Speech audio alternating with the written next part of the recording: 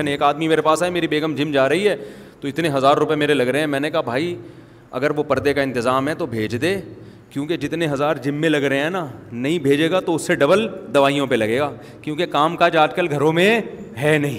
सही पहले तो औरतें सिलबट्टा पीस रही होती थी, हिल रही होती हैं, आटा गूंद रही हैं, कपड़े में यूँ यूँ करके डंडे मार मार के कपड़े धो रही हैं, ऐसे ऐसे रगड़ रही हैं। अब क्या है? मशीन में उठाया, वो भी नहीं उठ रहे होते, आधा आधा ज़ोर शोहर लगा रहा होता है आधा बेगम लगा के ऑटोमेटिक मशीनें फिर आगे मशीन की ज़िम्मेदारी है। मशीन का कोलेस्ट्रॉल कभी भी नहीं बढ़ता, अल्हम्दुलिल्लाह। मशीन हमेशा क्या रहती है? फिट तो अब तो मशीनी दौर है भाई।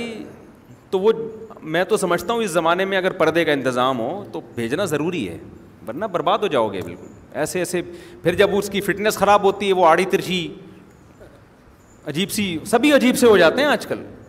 तो फिर उसका, फिर आदमी को उसकी तरफ़ तवज्जो नहीं रहती। फिर आदमी आंटियों को देखता है, बाहर जाके दफ्तरों में देखता है, यार, ये सारी सिल मिसमोहट और मैं क्या क्या लेके आया हूँ?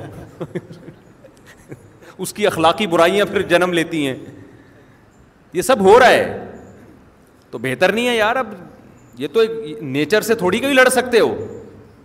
फितरत ये कहती है कि एक्सरसाइज ज़रूरी है। अब आप जितना भी दीन पे अमल कर लो, फितरत कभी भी चेंज नहीं होगी। तो फ़िज़िकल फिटनेस के लिए एक्सरसाइज करनी पड़ेगी, कुछ भी। पहले औरतें करती थी, अब नहीं करती यानी पहले तो घर के कामकाज में ही इतना हो जाता था। अब तो नहीं हो रहा है ना, अब तो बच्चों को पैम्पर जो है ना, वो 24 घंटे पैम्पर ने, उसका हमारी माएँ तो हमें लेके बैठी रहती थी वॉशरूम में। कि भाई पेशाब होगा तो हम बच्चे को सुलाएँगे। हमें तो पुराना ज़माना याद है अपना। आजकल तो कोई टेंशन नहीं है, भाई पैम्पर लगाओ। वो सारी जरासीम और जितनी भी जो कुछ सेवरेज का पूरा सिस्टम उसके अंदर ऑटोमेटिक लगा हुआ है ठीक है ना? वो भर जाए तो उठा के फेंको दूसरा फिट कर दो। तो ये को, को, कोई वो नहीं है।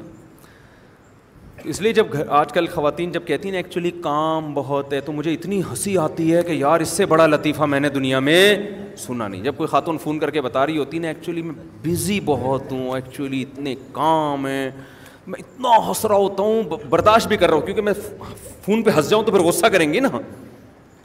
कि यार इतनी डढाई के साथ झूठ बोलते हुए शर्म नहीं आती यार। काम कहाँ है आजकल? किसके का, किधर काम है यार आजकल? इल्ला सिवाय उन खवतिन के जो बयान सुन रही हैं वो बहरहाल वो उनके बहुत सारे काम हैं। वो फिर गुस्सा होती है कमेंट्स में इतनी गालियाँ पड़ती है ना मुझे नीचे के मैं क्या बताऊँ। काम है ही नहीं भाई आजकल घरों में। तो मासियाँ कर रही हैं सारे काम आके। मुतवसित घराने के लोगों ने भी मासियाँ रखी हुई हैं। तो गरीबों के घरों में होता होगा काम वाम बहुत होते हैं। थोड़ी सी वॉकिंग होती है खातन की, वो भी डॉक्टर ने कहा होता है पार्क के एक चक्कर तो वो चक्कर भी जाके देख लो ना। आदमी कहता है, भाई, ऐसे सौ चक्कर लगाने से भी कुछ हासिल। ऐसे वो गाते करते हुए जा रही होती है पार्क में आराम आराम से। वो भी जिठानियों की गिबतें, सासों की गिबतें और कुछ जो वही सारा, वो भी नेगेटिव ज़्यादातर बातें हो रही होती हैं। उसमें कोलेस्ट्रॉल कम होने के बजाय क्या होता है? जब आप नेगेटिव बातें करते हो ना तो डिप्रेशन से कोलेस्ट्रॉल बढ़ता है, कम नहीं होता।